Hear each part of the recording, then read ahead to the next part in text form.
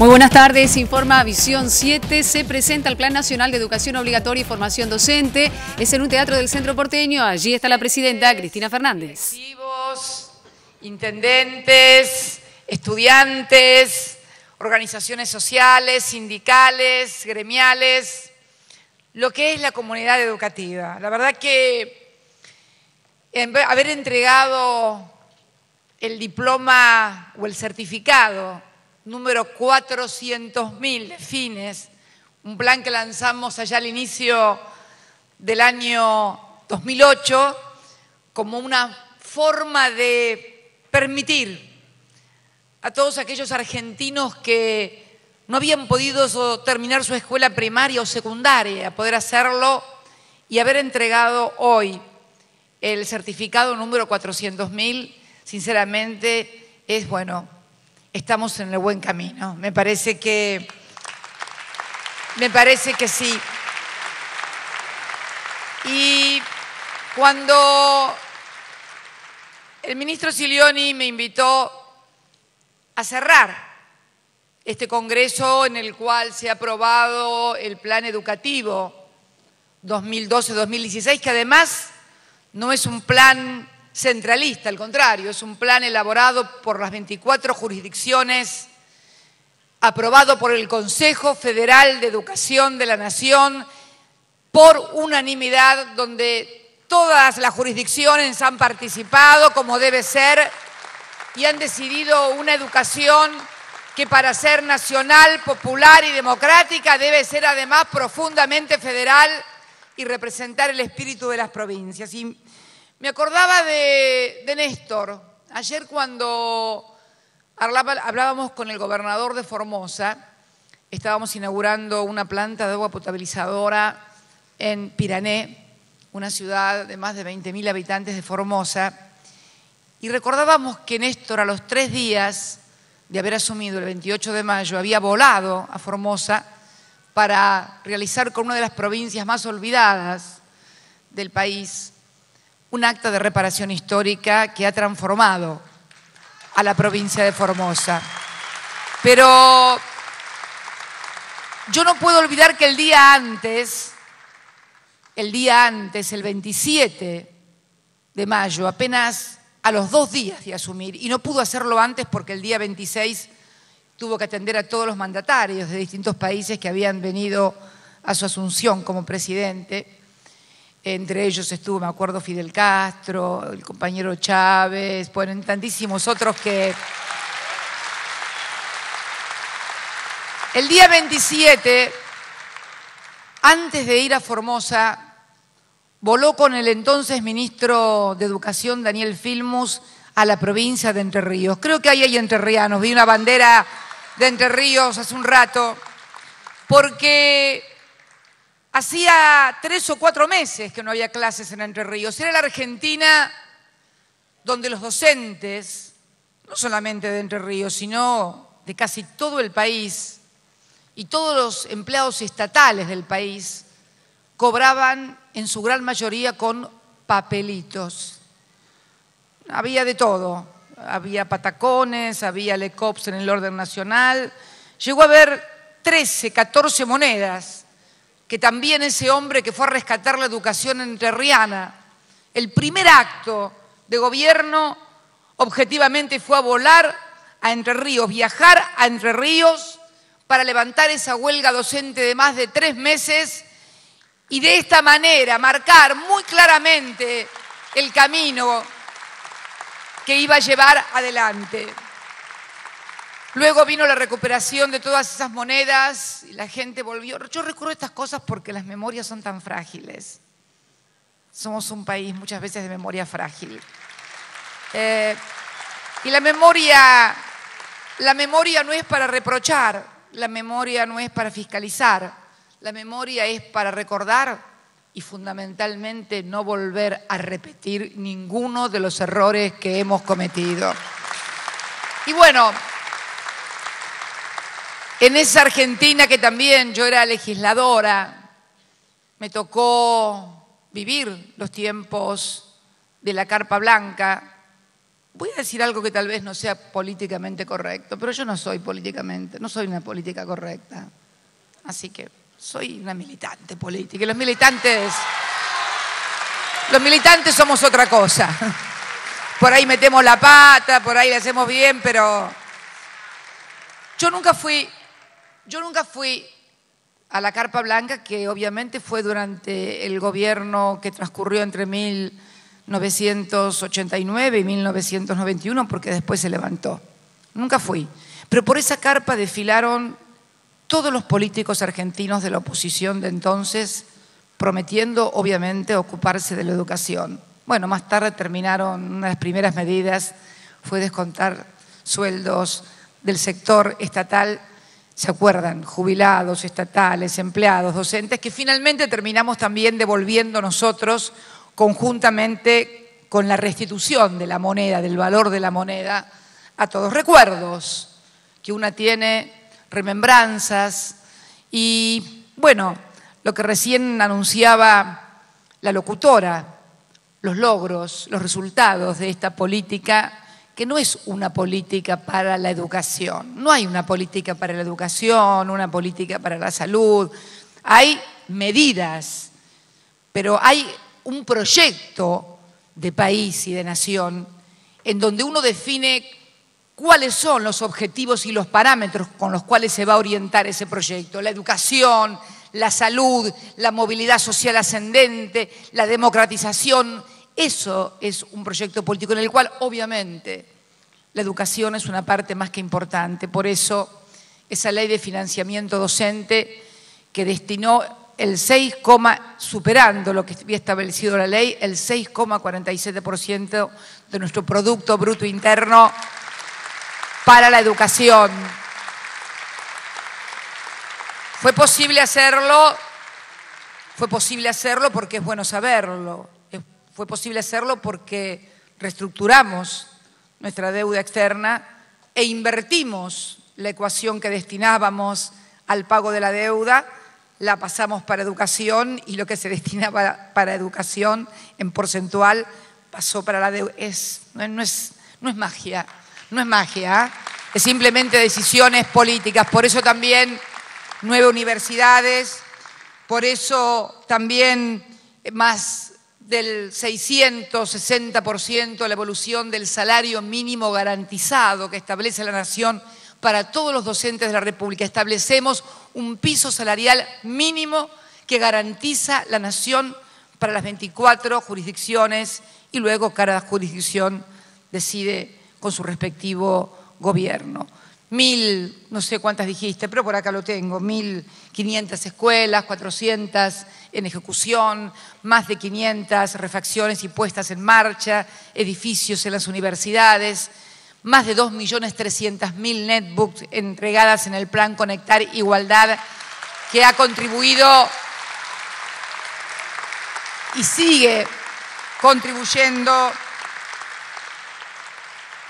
y, sigue contribuyendo a achicar la brecha digital y también, por supuesto, en definitiva, la brecha de desigualdad, porque el hecho de que el Estado le dé a cada uno de sus alumnos secundarios en las escuelas públicas es precisamente permitir que todos tengan exactamente los mismos derechos. Por eso creo que este plan que lanzamos, muy ambicioso, donde estamos poniéndonos metas muy importantes. Bueno, no quiero hablar de la universidad porque hoy estamos hablando de la escuela secundaria, pero datito de la universidad, que también debe haber algún docente universitario por aquí presente, la evolución salarial fue del 932% para, para un ayudante de primera semi-exclusiva, 20 horas semanales, que ganaba 278 pesos en el año 2003, hoy tiene a valores corrientes netos sin antigüedad 2.869 pesos, 932%. Podríamos hablar también de los no docentes universitarios con un aumento del 1.229%, en fin, de lo que ha sido en definitiva las paritarias como un modelo de negociación colectiva entre trabajadores y el Estado, en el caso de los estatales, y en general en la sociedad. Realmente la distribución de libros, más de 54 millones de textos, ya no estudiamos más por fotocopias. Y esto también ha contribuido a desarrollar la industria del libro, 54 millones de libros adquiridos por el Ministerio de Educación, por el Gobierno Nacional para ser distribuidos en las escuelas. No quiero hablar de la parte de Alicia en materia social, en la contribución de millones de guardapolvos y cosas, bueno, porque creo que todos lo saben. Eh, la asignación universal por hijo, en fin, todo lo que ha servido para que haya más dignidad en la República Argentina, en las metas muy ambiciosas que estamos proponiendo con la educación obligatoria para cuatro años, que cuando Néstor empezó en el 2003 teníamos una cobertura del 42, 43% y hoy tenemos en las salitas de cuatro una cobertura de más del 70%. Eh, es todo, todo un tema, la recuperación de las escuelas técnicas, por Dios, en un país que había cerrado las escuelas técnicas porque no había nada que producir, el país no necesitaba obreros, el país no necesitaba torneros. Todavía hoy, todavía hoy en este pujante proceso de reindustrialización, estamos pagando las consecuencias de todos esos años sin escuelas técnicas porque tenemos por allí una demanda de mano de obra insatisfecha, calificada en materia de operarios eh, para fábricas, que nos lo dicen los propias patronales. Pero ahí están las escuelas técnicas, ahí está también el plan que hemos lanzado que lo lanzamos en Tecnópolis, si mal no recuerdo, también para lograr más ingenieros, las becas del Bicentenario. Este plan que prevé más de 700 jardines nuevos maternales, 3.000 salas para niños de, de cuatro años, los playones deportivos. Recién hablaba, cuando ustedes me escuchaban y me miraban hablar, no me escuchaban, me miraban, me veían hablar con el ministro de Educación, me hablaba de la construcción de playones conjuntamente con los intendentes. Bueno, esto quiero decirles que cuando Néstor fue intendente en 1987, playón deportivo era algo desconocido. Creo que debe haber sido el primer intendente que construyó playones deportivos en medio de la Patagonia, en medio de Río Gallegos, que aún todavía están y cuando recién le decía a Alberto, porque Alberto me decía, por ahí tenemos que hacer los vestuarios, no va a ser necesario. Si no necesitamos en la Patagonia los vestuarios, mucho menos en lugares mucho más amigables, el clima, como puede ser aquí o el norte, lugares donde los chicos puedan desarrollar sus actividades deportivas, lo hacen en Río Gallegos con un clima muy, muy, muy, muy eh, poco amigable por allí, digamos, de viento, igual van en ese, en ese, clima se forjó él. Y peor que cuando asumió como intendente, porque cuando él era chico no había ni playones deportivos, eran, ¿cuántos había en Río Gallegos? ¿Cuatro mil personas vivirían, Alicia? Un poquito menos. En los baldíos usaban, en los baldíos, ¿viste? Y ahí se está. Del baldío, en medio de la Patagonia, lleno de viento frío, llegó a presidente. Así que que nadie pierda la esperanza, por favor, en la República Argentina duplicar el número de escuelas, de jornada, en fin, todo lo que estuvieron charlando hoy, la construcción de nuevos colegios, todo lo que se estuvo, porque sé que estuvieron trabajando desde muy temprano, desde la mañana, con este plan tan federal de educación. Pero yo quiero, porque estaba diciendo que a Alberto también, que hemos hecho una encuesta para compararla, porque ustedes saben que el tema de tener los chicos en el colegio es muy importante. Además hemos cambiado a partir de poder incorporar movilidad social ascendente, el rol que habían terminado cumpliendo los colegios que habían terminado siendo eh, comedores escolares en lugar de escuelas. Hoy los chicos han vuelto a la escuela para estudiar y vuelven a comer en sus casas. Esto que parecía un, un título de campaña o un eslogan de campaña se convirtió en una realidad. Y hemos hecho una encuesta que hemos realizado entre interministerial, entre el Ministerio de Trabajo, la Comisión Nacional de la Niñez y también la Comisión Nacional de Erradicación del Trabajo Infantil. Esto fue relevado durante el tercer trimestre del año 2012 como módulo de la encuesta eh, que se hace permanente de hogares y se hizo sobre niños, niñas y adolescentes y tenemos los resultados preliminares. Yo quiero compartirlos con ustedes cuando se publique en la totalidad. Va a ser un, un instrumento muy valioso también para las autoridades educativas para tomar decisiones y tener un correcto cuadro de situación de cómo estamos. Porque Néstor había mandado hacer una encuesta similar en el año 2004 en relación a trabajo infantil, en relación a cantidad de niños entre los 5 y 17 años que están en el secundario, que están en el primario.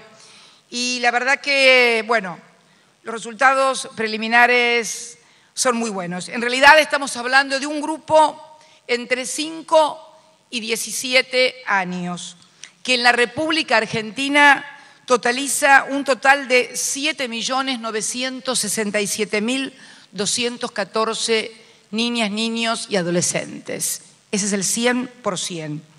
Ese 100% se compone de 5 a 13 años, lo que podríamos denominar el viejo concepto de escuela primaria. Ya saben que yo soy vieja, así que no es ninguna novedad. 67,5%, 5 millones 376.316 niñas y niños eh, entre 5, si le digo niña, una de 13, por ahí me va a mirar torcido, pero bueno, eh, entre 5 y 13 años. Y la situación escolar por grupo de edad, que, y hay un, perdón, eh, 2.590.898, que es el 32,5, que son entre 14 y 17 años, lo que podríamos denominar la adolescencia. La situación escolar de esos 5.376.316 niños y niñas, tenemos que el 98,7%, 5.306.520, asiste a clase, lo cual constituye una cifra impresionante. Tenemos 50.000 que asistieron y han dejado de asistir. Debemos ir en busca de esos 50.000. ¿Por qué dejaron de asistir? Pero son 50.000 los que asistieron. Es el 0,9.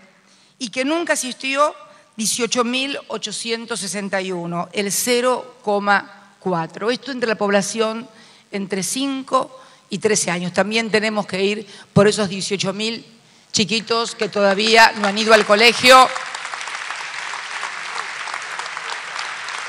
Todo esto también se ha podido dar un salto cualitativo y cuantitativo porque lanzamos una campaña de identidad, de identificación. Había numerosos niños y niñas como sus padres que no tenían documentos de identidad, no estaban identificados. Esto lo habíamos charlado muchísimas veces con la gente de la CETERA y lanzamos una campaña para todos los argentinos, para los 40 millones, porque también, ¿por qué no recordarlo? Sacar un documento era casi una odisea, dos años, y hasta si tenías una tensión con alguien, te lo podían adelantar. Hoy sacar un documento es un trámite más rápido, seguro, eficiente y bueno para todos los argentinos. Entre la población eh, de 14 a 17 años, que es de 2.590.898, el 89,1, 2.308 asiste al colegio. 277.641, un 10%, que es precisamente uno de los temas de los problemas que ha abordado este Congreso y aborda el nuevo plan de educación, es precisamente el abandono muchas veces por repitencia, muchas veces por soledad, otras veces también porque van a trabajar los chicos, esto también nos pasa, pero bueno, también el tema que deberá abordarse. Y que nunca asistió solamente 4.456, el 0,2%. Nos, nos gustaría tener el cero, pero en términos de comparativos con lo que está pasando en otros eh, países, eh, que luego vamos a ver con el tema de trabajo, es muy importante. Esta encuesta también ha determinado cuáles son las actividades que desarrollan estos dos grupos. Y el grupo eh, de 5 a 13 años, 4.999.564, el 91,7%, a la pregunta de en qué utiliza su tiempo libre, respondió, hace deberes o estudia para la escuela o el colegio. No es una cuestión menor. Hace deportes el 53%. Va a algún taller o curso el 21,5%. Sale con amigos, como todavía son chicos, el 37,8%. Usa computadora o netbook, casi el 70%, 69,9%. Y usa internet el 59,5%, casi el 60%. Si vamos al grupo de 14 a 17 años, hace los deberes o estudia en su tiempo libre el 87,1%. 2.255.475. Un poco para desmitificar algunas cuestiones. Eh, también hablaba con el ministro con esto de desmitificar algún episodio que hoy se conoció en algún colegio de alguna zona en la cual uno presume que no pueden pasar determinadas cosas, para terminar con esta estigmatización que muchas veces se hace de muchos distritos, de muchos colegios, de muchos lugares, como los que de lugares de tez más oscura o en determinados lugares geográficos, eh, bueno, tienen costumbre que parece que son costumbres que hacen a la condición humana, no al color de piel ni a la condición social, afortunadamente. Eh,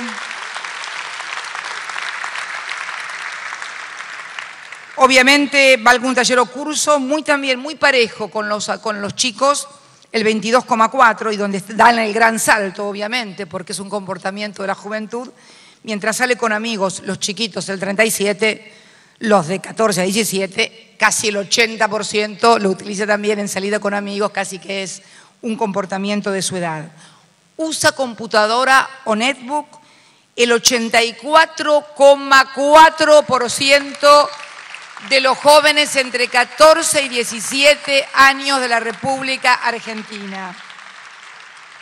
Y utilizan Internet el 80%.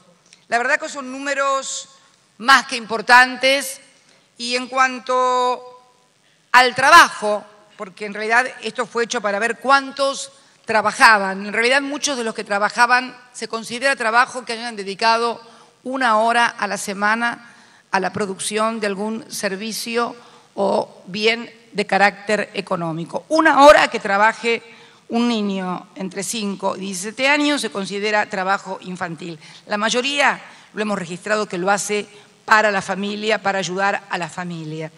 Pero en realidad el salto cualitativo que hemos dado con la encuesta que Néstor había mandado hacer en el 2004, cuando recién estaba asumiendo como presidente, es que en aquel momento eh, el 6,4 de este grupo de 5 a 13 años había hecho trabajo y ahora solamente el 2,2, con lo cual hemos tenido una reducción del 66% de niños.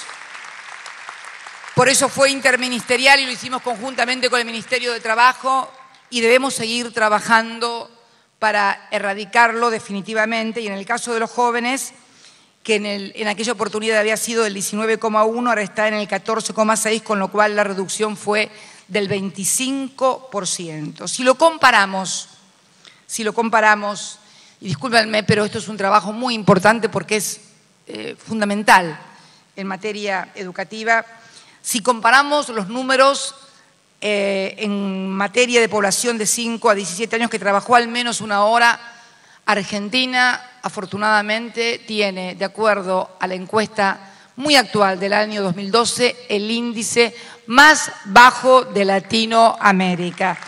5,3. Colombia, el 13% es del 2011 el dato. México es del 10,5 es 2011, Uruguay 11,6 es dato del 2009, Brasil el 9,8 es OIT Brasil, dato 2009 y Chile 5,4 pero es del año 2003, hace, hace bastante. ¿Qué quiero decir con esto? Que estamos logrando eh, realmente con toda la multiplicidad de políticas encaminados, desde la asignación universal por hijo, a padres con mejores salarios, a cinco millones y medio de padres que han conseguido trabajo y que antes estaban desocupados y que sus hijos veían, porque además el tema de muchas veces las conductas, los disvalores, se forman también cuando los chicos no tienen eh, obligaciones, cuando no han visto una familia que tuviera obligaciones, horarios que impone el trabajo. El trabajo es un gran organizador social, es un gran educador. Y la primera educación no se recibe en el colegio, se recibe en la casa. Y cuando en tu casa vos ves que tu viejo sale a laburar a tal hora y vuelve a tal hora, que tu mamá también trabaja y sale a laburar y vuelve a tal hora, y que tienen obligaciones que cumplir, se va creando en cada uno de esos chicos, en cada uno de esos niños, el concepto del deber y la obligación, que siempre, discúlpenme, está directamente vinculado a la capacidad y a la responsabilidad que tenemos que generar en cada uno de nuestros chicos para que haya un buen proceso educativo. La educación no es algo que se regala, la educación, la educación no se adquiere por ósmosis, hay que sentarse. Y el gran desafío que tienen hoy, y yo siempre lo hablo con Alberto, los docentes, es lograr en este plan educativo y en esta formación docente, entender las nuevas reglas de juego, los nuevos códigos que tienen nuestros niños y nuestros adolescentes. Ya no estamos ante lo que éramos nosotros, medio los picapiedra, ¿no? Lectoescritores, ¿no? Éramos medio picapiedras. Y sí, hoy en la digital somos casi picapiedras. Pero ya no estamos ante alumnos de la lectoescritura, estamos ante adolescentes y niños digitales que manejan computadoras, que adquieren la información y la formación por computadora. Esto, lejos de asustarnos, debe plantearnos como un nuevo desafío, el mismo desafío que seguramente tuvo la educación cuando vino la, imprenta de Gutenberg y solamente el conocimiento estaba reservado para muy pocos. Yo creo que esta digitalización es también una ampliación una democratización de las fronteras del conocimiento. Implica también, implica también otra gran responsabilidad, porque al estar todo abierto, necesitas formar ciudadanos que sean capaces de procesar la cantidad de información que se le vuelca encima de todos lados y que recibe de todos lados para que pueda contar con los instrumentos y con los elementos para hacer su propio juicio de valor, lo que nosotros denominábamos, y si somos hijos, de poder tener pensamiento abstracto.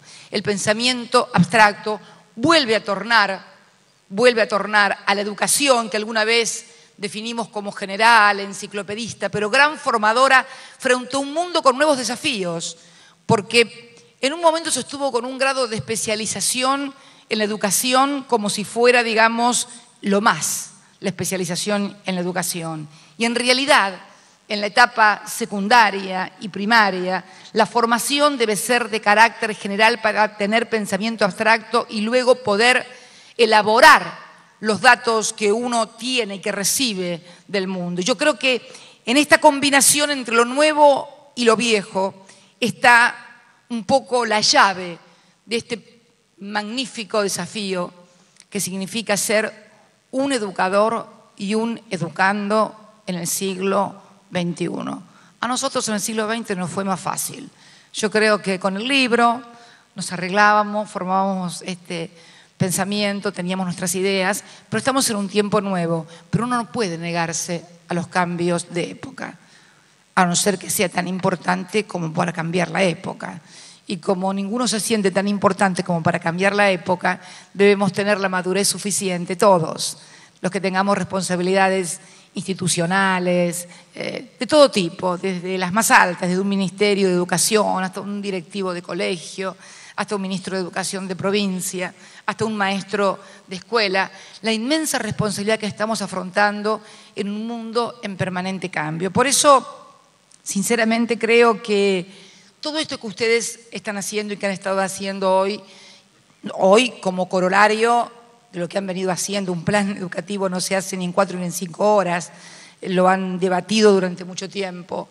Creo que es precisamente la necesidad que tenemos todos los argentinos de abrir nuestras cabezas, abrir nuestras cabezas. Abrir nuestras cabezas significa también eh, tener la comprensión aún para los que todavía no entienden ni comprenden. No hay que parecerse nunca a los que no entienden y no comprenden. Yo les pido por favor a todos los que creen en este proyecto y a los que creen en su país que sus conductas, sus comportamientos sean comportamientos dignos, humanos, respetuosos para todos los argentinos, aún para los que no piensen igual, porque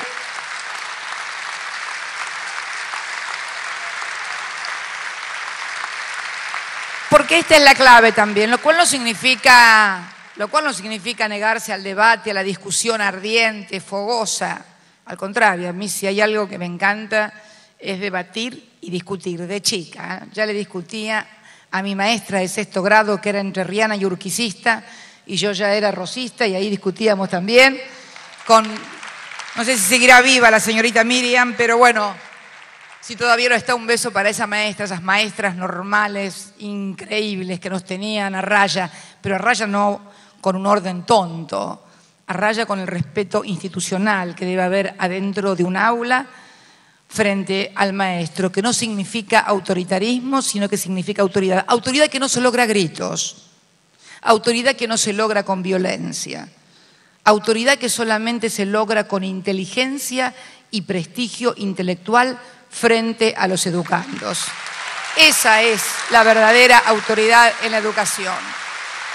Yo, aún con mis diferencias, aún con mis diferencias, siempre tuve un gran respeto, inclusive en la universidad, con profesores que yo sabía que, bueno, que eran un poquito antiperonistas, este, por ejemplo, eh, pero el reconocerle al otro la valía intelectual, aunque no piense lo mismo, la otredad.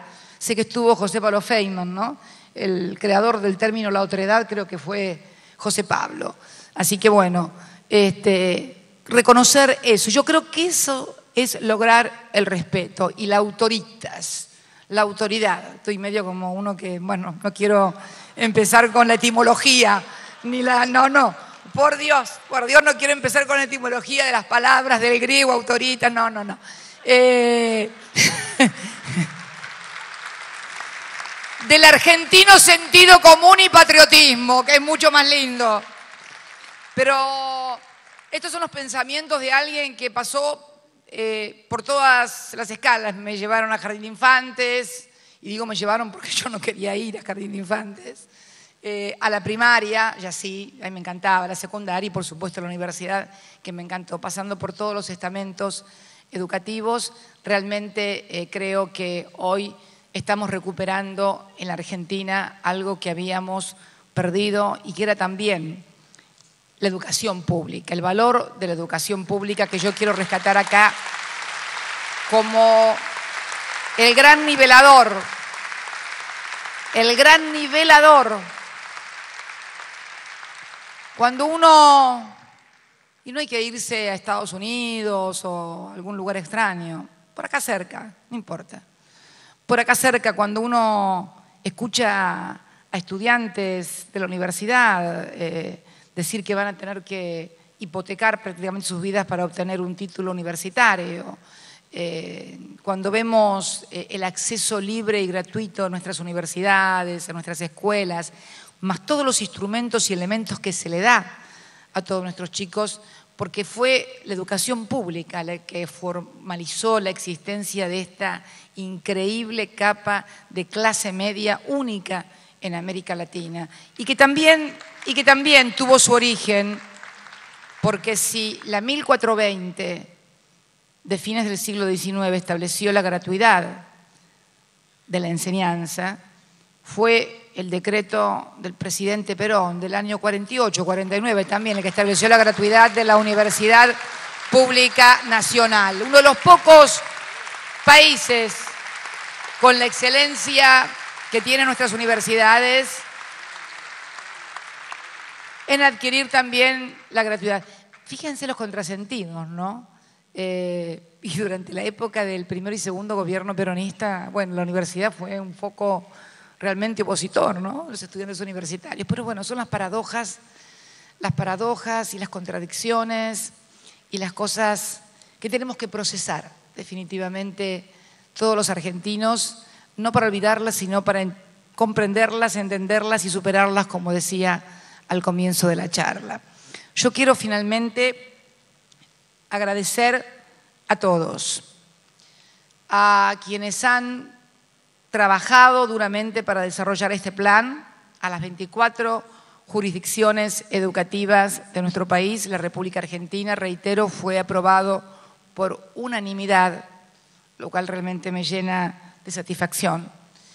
Eh, también saludar a todos los docentes que todos los días, al frente de su grado, muchos maestros inclusive en la Argentina profunda, eh, recorren muchísimas distancias para, hacer, para ir a sus escuelas. Me acuerdo cuando en la provincia de Buenos Aires hace unos días, unos meses atrás, inaugurábamos un colegio, una, perdón, una ruta que conectaba dos localidades y una de las docentes que hablaba decía que cuando llovía tenía que quedarse a, dormir en la localidad donde no vivía, porque ella vivía en una localidad vecina, que era 60, 70 kilómetros, porque el camino se volvía intransitable. Agradecerle a todos los estudiantes de mi país, estudiantes de todos, de todas las ideas. Eh, lo que es importante es cómo hemos recuperado una vez más los estudiantes secundarios y universitarios la idea de que la participación política es un instrumento importante de desarrollo para todos. Agradecer a los padres que con mucho esfuerzo envían sus chicos al colegio y agradecer fundamentalmente a este país que estamos construyendo entre los 40 millones de argentinos que ha permitido, después de mucho tiempo, cosas que pensábamos que nunca íbamos a lograr. Estas cifras que hoy nos dan desde un salario docente hasta la construcción de las escuelas, modernización de edificios, eh, inauguración no solamente de nuevas universidades, sino de viejos eh, edificios, de viejas universidades, como nos ha tocado inaugurar. Escuela de Periodismo en La Plata, la Facultad de Ciencias Económicas aquí en Buenos Aires. Eh, en fin, agradecerle a todos los argentinos por el esfuerzo que estamos haciendo para vivir en un país mejor y lograr una educación mejor. Si uno mira a su alrededor, advierte realmente que tenemos grandes logros, vienen de muchas partes también de Latinoamérica a estudiar a nuestro país, lo cual no es nuevo, nadie tenga xenofobia ni nada. Yo me acuerdo, era muy chica, era muy chica, y frente a casa, en La Plata, vivía, había una casa, la casa de los peruanos, le decíamos nosotros, porque eran todos estudiantes este, del Perú que venían a estudiar aquí a la República Argentina. Eh, y bueno, eh, no me río porque me acuerdo, no se la voy a contar una anécdota, porque es una anécdota de mi papá, de Néstor y mía, eh, así que, pero no tiene importancia, tiene vinculación con los estudiantes que vivían lejos y dejaban a las chicas después este cuando se iban. Entonces mi papá, cuando dijo, ¿de dónde es? De Santa Cruz. Che, me dice, no será como eso, que allá del norte que vienen y dejan las novias y se van después y vienen a comer a las casas. Y no, le digo, Santa Cruz, le digo, acá está. Bueno, se la confundió con Comodoro Rivadavia, una cosa también muy común este, este, hoy también, hoy también. Bueno, en fin, cosas que recuerdos también que le vienen de repente a una en medio de tantas cosas. Agradecerles a todos y a todas realmente el esfuerzo que estamos... ¿Cómo, mi amor? yo quiero, yo quiero decirle a todos, a todos los jóvenes, este, que miren, siempre, siempre van a tener de su lado. Eh, el más joven de todo era él. 60 años y parecía que tuviera 20. Se murió joven. Definitivamente. No quería ser viejo. Se negaba. Pero no viejo por edad, sino por ideas. Y eso es lo que tenemos que lograr todo. Que nuestras cabezas sean siempre jóvenes. Porque cuando uno es joven, está dispuesto a aceptar el desafío. Cuando uno es joven, está dispuesto a aprender. Cuando uno cree que está todo sabido, es porque en definitiva no aprendió nada. Lo único que he aprendido en esta vida, que hasta el último día en que estás vivo, seguís aprendiendo. Y esa es la filosofía que tenemos que tener todos los argentinos. Muchas gracias y muy buenas tardes a todos y a todas. Gracias. Señoras, señores, con las palabras de nuestra presidenta, la doctora Cristina Fernández de Kirchner, damos por concluido el presente acto. A todos, como siempre, muchísimas gracias.